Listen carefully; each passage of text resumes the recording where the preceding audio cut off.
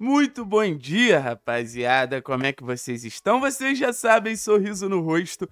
É porque tem furacão, é porque o Atlético joga primeiro jogo depois do aniversário de 100 anos do Clube Atlético Paranaense. Então não deixe de ter todo o conteúdo histórico esse Atlético e Operário, mas também um jogo que coloca o Atlético na final do Campeonato Paranaense, caso o Atlético empate ou vença contra essa boa equipe do Operário, essa organizada equipe do Operário. O Maringá já está na final. Nosso rival não conseguiu superar o Dogão e agora é a vez do Atlético fazer a parte dele e buscar esse bicampeonato para começar o centenário, o ano do centenário da melhor maneira possível e, obviamente, a gente entrar nas principais competições já como campeão em 2024. Não é o bastante, não é o que nos motiva de, de, de maior forma, só que eu acho que não dá para dispensar o Campeonato Paranaense. O Campeonato Paranaense é o primeiro passo para depois a gente buscar a Copa do Brasil, Copa Sul-Americana e quem sabe o Campeonato Brasileiro, que aí sim são os principais torneios, que aí sim são as principais competições e é o que o Atlético sonha numa data tão relevante que é esse ano de 2024 para o Atlético. O Atlético quer fazer do seu 2024 um ano assim como foi 18, assim como foi 19, assim como foi 21, assim como foi 99, assim como foi 2001, anos de títulos grandes, anos de conquistas relevantes. Então, vamos começar a falar sobre esse jogo contra o Operário. E acho importante a gente relembrar o que, que foi o primeiro jogo, né? Porque a gente vem de uma goleada muito significativa contra o Londrina. A gente consegue fazer um 6 a 0 que, que, que é extremamente expressivo. E a gente vai para Ponta Grossa e a gente sofre consideravelmente nos 25 primeiros minutos. A gente sofre consideravelmente em um momento ali que o operário consegue ter a posse de bola, ganha muitas divididas empurra o Atlético para trás e o Atlético, até a parada técnica, ele fica meio sem saber o que fazer. Sofre o gol numa felicidade muito grande do atacante deles. Acho que não teve culpa nenhuma ali dos jogadores do Atlético, mas o jogo ele não estava controlado como o Atlético tinha controlado contra o Londrina. A partir da parada técnica, o Atlético assume o controle das ações, faz um jogo muito bom, começa a atacar com mais gente, faz o gol no, no, no primeiro tempo e no segundo tempo poderia ter feito mais de um, né? E, e chega para esse jogo com essa vantagem, acaba virando o jogo ali no finalzinho com o Pablo, mas foi um jogo de algumas questões táticas interessantes. Por exemplo, a gente sai de um 4-4-2, vai para um 4-3-3 ao longo da partida. Isso faz a gente jogar bem melhor, faz a gente ter dois jogadores agudos atacando as costas dos laterais do Operário, que eram jogadores muito ativos no campo de ataque. Então a gente fez os, os, jogadores, os laterais do Operário segurarem um pouquinho mais. A gente consegue ganhar um pouquinho mais de protagonismo na partida após a entrada de Godoy e após a entrada de Esquivel.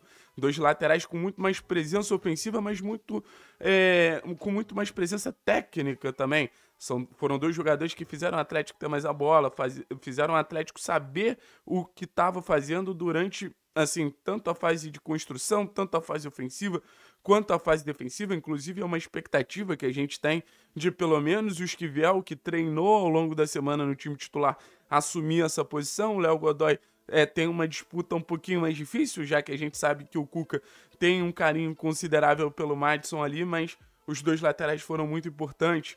E, e agora a gente chega para esse jogo com a vantagem, com a responsabilidade de se classificar para a final e a gente chega para esse jogo com a responsabilidade de jogar bem, né?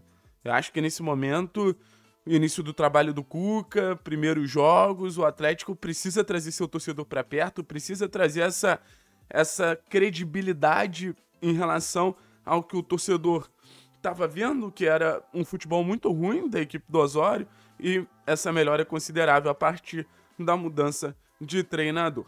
Acho que, que falando de maneira um pouquinho mais individual da equipe, é, a gente vai sofrer um pouquinho sem Bento sem Canobi. Acho que a gente consegue se virar bem. Acho que, que tanto no gol quanto na ponta a gente tem jogadores que dão conta desse, desse desafio, dão conta do recado em um confronto que promete ser difícil, um confronto que promete é, incomodar o Atlético. O Operário há temporadas com essa marcação individual vem incomodando o jogo do Atlético, mas eu acho que, que a qualidade técnica do Atlético tende a falar mais alto. Acho que a qualidade técnica do Atlético tende a ser o fator que, que mais pesa ao nosso favor do que qualquer, assim, argumento de qualquer arma que o operário possa vir a ter. Então, começando no gol, a gente não tem o Bento na seleção brasileira, inclusive muito bem na seleção brasileira.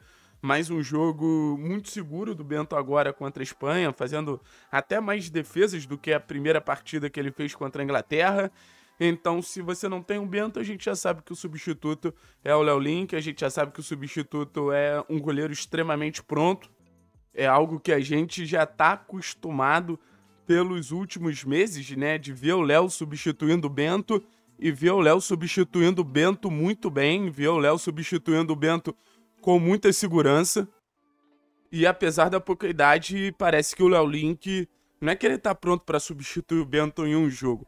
Parece que o Léo Link ele tá pronto para substituir o Bento de maneira definitiva. A gente sabe todo o assédio que o Bento vem sofrendo de clubes europeus, a gente sabe todo o interesse que o Bento vem despertando de clubes ingleses, clubes portugueses, clubes é, italianos. Então, assim, você ter o Léo transmitindo essa confiança com esse nível de atuação Acho que é muito legal para o torcedor do Atlético que sabe que tem uma miniatura de Bento ali, que obviamente assumindo o gol, você vai ter uma responsabilidade muito maior pro Léo e você vai ter que acompanhar se ele vai conseguir acompanhar esse, essa responsabilidade aumentando ou não, mas por tudo que fez até agora eu fico muito tranquilo quando o Léo Link assume o gol do Atlético. Na zaga, mais um jogo sem o Gamarra, né? A torcida do Atlético vem se perguntando o que é está acontecendo com o Gamarra, por que o Gamarra não é relacionado. Nada pessoal do técnico Cuca. O técnico Cuca prioriza outras posições para levar nossos principais jogadores. A gente tem dois laterais de elite sul-americanos, a gente tem nosso camisa 10 sul-americano, a gente tem nosso centroavante sul-americano. O técnico Cuca até ficou numa dúvida entre Coelho e Gamarra, mas já que não tinha um Canobi, precisava levar mais um ponta, acaba levando o Coelho, mas o Gamarra trabalha para quando as principais competições começarem, ele está à disposição de, de maneira definitiva ali do técnico Cuca. Sem Gamarra, tendência à manutenção da zaga. Thiago Heleno junto ao Kaique Rocha. Kaique Rocha, que para mim vem sendo um dos melhores jogadores do Atlético nesse campeonato paranaense, deu uma belíssima assistência para o gol da vitória do Pablo no jogo contra o, o Operário. E, e o sentimento que fica é que o Kaique é, ele assume essa vaga pelo lado direito, né? É, existia uma dúvida, o próprio Thiago poderia jogar ali, Pedro Henrique, mas parece que o Kaique é, é, é, o jogador da posição. A gente já falou dos laterais, mas um fator muito interessante é o retorno do lateral Fernando, né? Fernando que ficou 7, 8, 9 meses fora, acaba assumindo é, a vaga ali no banco de reservas, né? Depois de muito tempo, um lateral que eu tenho certeza que pode nos ajudar com muita força ofensiva, com muita segurança defensiva, um lateral muito pronto. Vamos ver como ele vai voltar. Algumas conversas que eu tive internamente deixaram muito claro que fisicamente o Fernando tá super preparado, era um dos principais jogadores da equipe quando saiu. Acho que pode até ser um ponto ali se o Cuca quiser,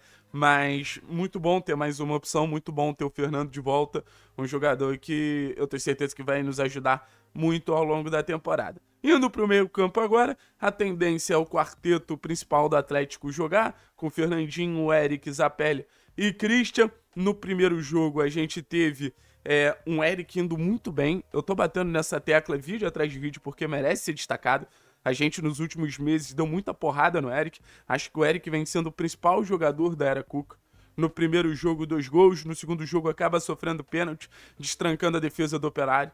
Então, ver esse Eric de volta, ver esse Eric performando como nos seus melhores tempos, é assim, é muito importante pro Atlético.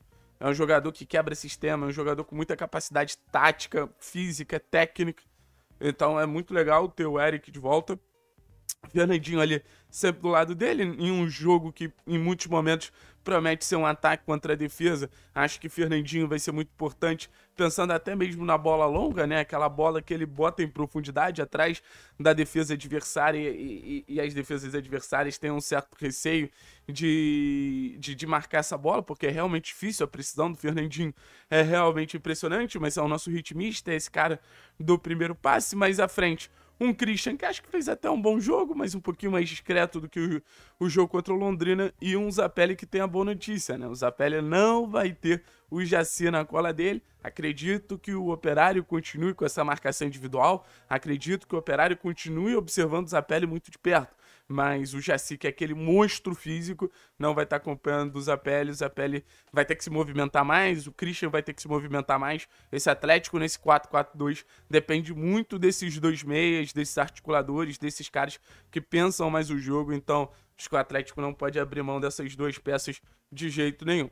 Mais à frente a gente tem uma tendência de o Julimar substituir o Canóbio. Julimar até entrou levando algum perigo no último jogo, perdeu alguns gols, mas também criou algumas situações muito forte fisicamente. Deve fazer dupla com o Maestrani. Lembrando que uma das melhores partidas que o Atlético teve até agora nesse campeonato estadual foi contra o PSTC, onde você teve Julimar e Maestrani jogando juntos. O Julimar deu assistência para o Maestrani, Maestrani deu assistência para o Julimar. Então, uma dupla que já mostrou entrosamento, já mostrou entendimento ali.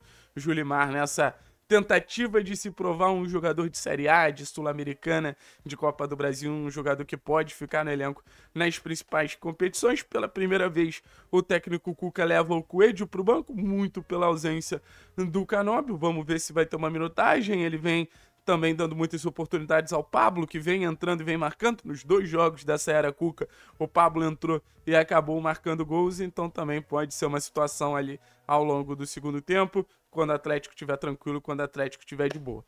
Jogo para o Atlético garantir a classificação, jogo para o Atlético manter esse momento tranquilo, esse momento de festa por causa do centenário. Jogo para a gente continuar crescendo, continuar encorpando, continuar se consolidando, para aí sim a gente chegar na nossa melhor versão nas principais competições, que acho que aí sim é o grande desafio do Atlético. Valeu, pessoal. Tamo junto, é nóis. Forte abraço.